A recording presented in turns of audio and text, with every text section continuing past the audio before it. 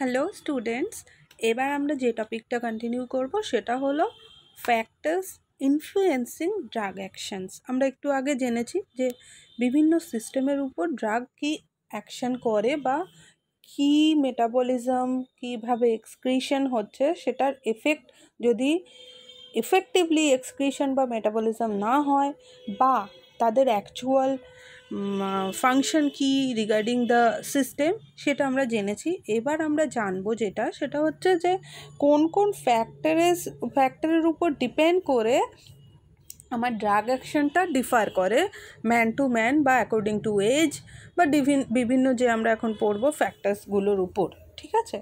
তাহলে চলো দেখে নিই ফার্স্ট আসছে এজ যেমন ধরো, যে ডোজ ডোজটা একটা অ্যাডাল্ট পেশেন্ট বলো বা ক্লায়েন্টের জন্য এফেক্টিভ সেই সেম ডোজটাই কিন্তু যদি একটা ইনফ্যান্ট বা চাইল্ডের উপর অ্যাপ্লাই করা হয় বা অ্যাডমিনিস্টার করা হয়, সেটা কিন্তু তার জন্য হার্মফুল হতে পারে। আবার সিমিলারলি আমি এটাও বলতে পারি, যে ডোজটা একটা বাচ্চাকে দেওয়া যায়, সেটা যদি আমি একটা অ্যাডাল্টকে দিই, তাহলে কিন্তু তার সেই এফেক্টিভিটি আমরা দেখতে পাবো না। তাহলে বোঝা যাচ্ছে এজ একটা ফ্যাক্টর যেটা কিনা ড্রাগ অ্যাকশনকে ইনফ্লুয়েন্স করতে পারে। নেক্সট আসছে ওয়েট মানে অনেক সময় হয় দেখবে যে অ্যাকর্ডিং টু বডি ওয়েট আমরা ড্রাগ ডোজটা ডিসাইড করি। তাহলে সিম্পল জিনিস, যার যে বডি বিল্ড তোমরা যেমন যখন নার্সিং কেয়ার প্ল্যান বা প্রসেসগুলো করছ, তখন কিন্তু খেয়াল করবে যে আমাদের মানে তাদের বডি ওয়েট বা বডি বিল্ড একটা পয়েন্ট আছে। তো এখন আশা করি বুঝতে পারছ যে আমরা কেন এই বডি বিল্ড পয়েন্টটাকে এখানে রেখেছি। তাহলে যদি আমার বডি ওয়েট বা ওভার ওয়েট হয়, তাহলে আমরা বুঝতেই পারছি তার জন্য লার্জার ডোজ দরকার রাদার দ্যান যে রেকমেন্ডেড ডোজ আছে।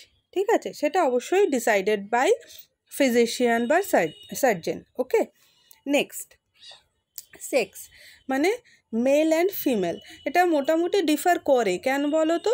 যেহেতু মোটামুটি ভাব মানে আমরা জানি যে ওয়েট সাধারণত মেনদের বেশি হয় রাদার দ্যান ফিমেল তো সেক্ষেত্রে আর কি অনেক সময় কি মানে কিছু মেডিসিন আছে যেগুলো আর কি মেন বা ফিমেলের উপর একটু ডিফার করে অ্যাকশনের দিক থেকে। ঠিক আছে? Next culture ethics sorry ethnics and genetic factors মানে আমরা এখানে একটা জিনিস জানব যে কিছু কিছু কালচারের পার্সন আছে যাদের মেটাবলিজম রেট বেশি, তার ফলে তাদের কিন্তু ড্রাগ অ্যাকশনটা আর্লিয়ার আমরা দেখতে পাই। এই যে একটা ফিজিওলজিক্যাল চেঞ্জেস বা genetical changes according to culture wise বা জেনেটিক চেঞ্জেসের জন্য। তাকে আমরা বলছি ড্রাগ পলিমরফিজম এবং এই ড্রাগ পলিমরফিজমটাই জেনেটিক পলিমরফিজম করতে হেল্প করে বা এফেক্ট করে। মানে হলো যে কিছু ড্রাগ আছে বা সেই ড্রাগগুলো পার্টিকুলার জিন মেটাবলিজমে হেল্প করায়। তারা কি করে? যে ড্রাগগুলোকে ইজিলি বা র্যাপিডলি মেটাবলিজম দরকার, সেগুলো র্যাপিডলি করছে।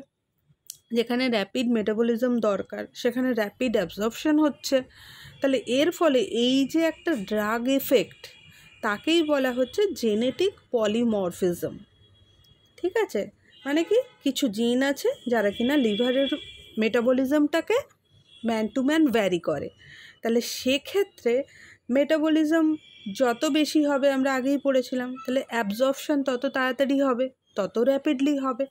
এবার এর ফলে এই যে এফেক্ট করল ড্রাগের উপর মেটাবলিজম এবং অ্যাবজর্পশনে তাকেই বলা হচ্ছে জেনেটিক পলিমরফিজম তাহলে বুঝতেই পারছ যে কালচার ওয়াইজ বা এথনিক বা জেনেটিক ফ্যাক্টার্সও ড্রাগের উপর ড্রাগের যে অ্যাকশন সেটার উপরে ইনফ্লুয়েন্স করে। নেক্সট ডায়েট কিছু কিছু ড্রাগ আছে যেগুলো ডায়েটের সঙ্গে নিতে বলা হয়। আবার কিছু ড্রাগ আছে যেগুলো ডায়েটের বিফোর ডায়েট আফটার ডায়েট এরকম থাকে। তোমরা না, এতদিনে নিশ্চয়ই জেনে গেছো।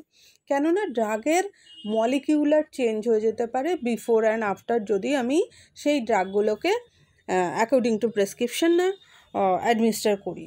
যেমন এক্সাম্পল হিসেবে বলতে পারি ভিটামিন কে গ্রিন লিফি ভেজিটেবলে দেখা যাচ্ছে বা পাওয়া যায়। তাহলে এ কী করছে? ওয়ারফেরিনের যে ইফেক্টিভনেস তাকে কিন্তু কমিয়ে দিতে পারে। আবার দুধ, সে কিন্তু টেট্রাসাইক্লিন অ্যান্টিবায়োটিকের সঙ্গে যদি খাওয়া হয়, তাহলে কিন্তু আবার অ্যাবজর্পশন কমে যায়।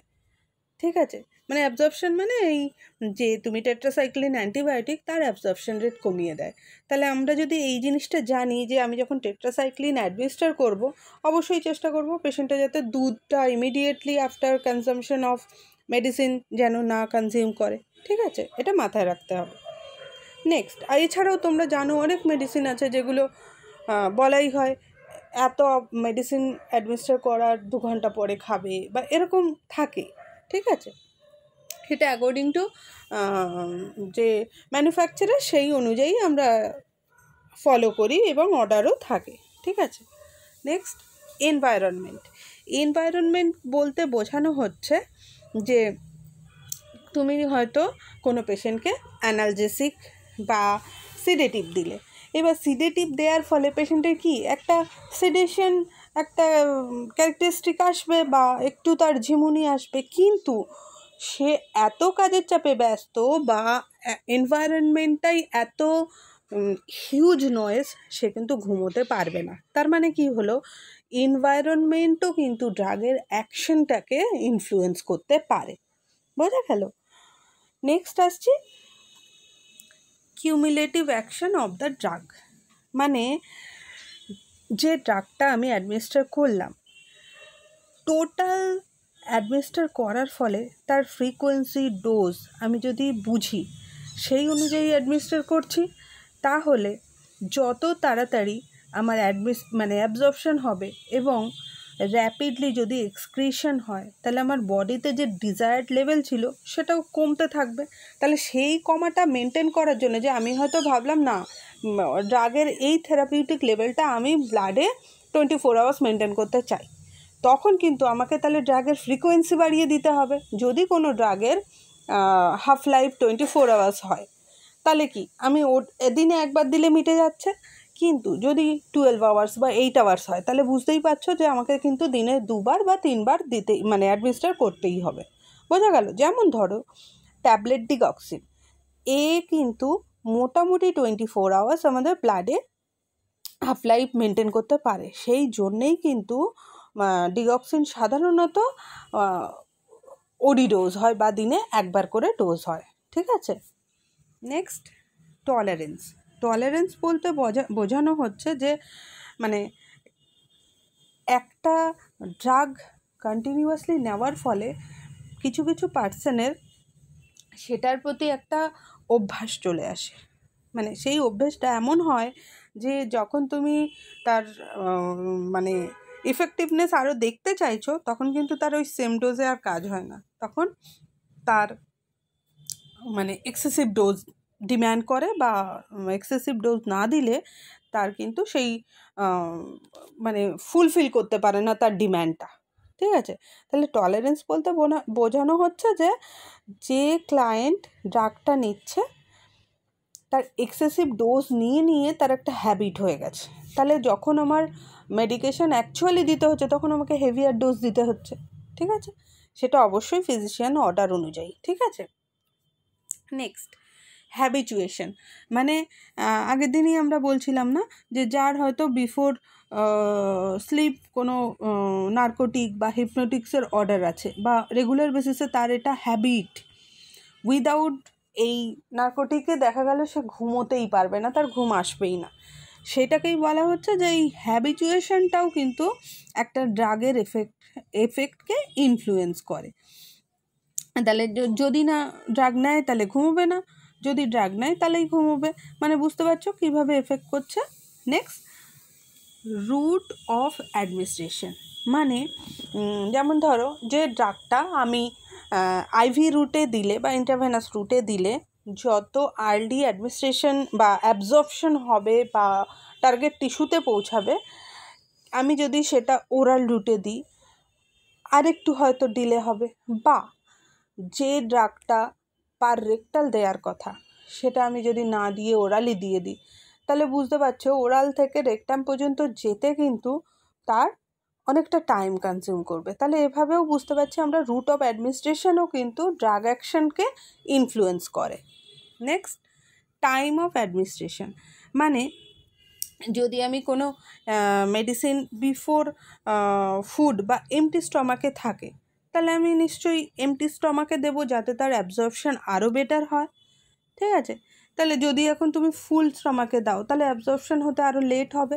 এই কারণেই বলা হচ্ছে time of administration may affect the action of drug next psychological factor psychological factor বলতে বলা হচ্ছে যে কোনো পেশেন্ট হয়তো একটা ক্লিনিক্যাল এক্সপিরিয়েন্স থাকে যে আমি যদি কোডেন খাই বা কোনো পেন কিলার দিন সিস্টার আমার ব্যথাটা কমে যাবে। সেরকম। যে এই যে একটা মানে সাইকোলজিক্যাল ফ্যাক্টর তোমাদের আগেও গল্প বলেছিলাম যে একটা ডিপেন্ডেন্সি চলে আসে যে, ও, ব্যথার ওষুধ দিয়েছেন? ঠিক আছে, তাহলে তো ব্যথা কমেই যাবে। বুঝতে পারলে? তো এটাও কিন্তু একটা মেডিসিনের একটা এফেক্ট মেডিসিনের এফেক্ট নয় মেডিসিনের এই ফ্যাক্টরটা মেডিসিনের অ্যাকশানের উপর এফেক্ট ফেলে।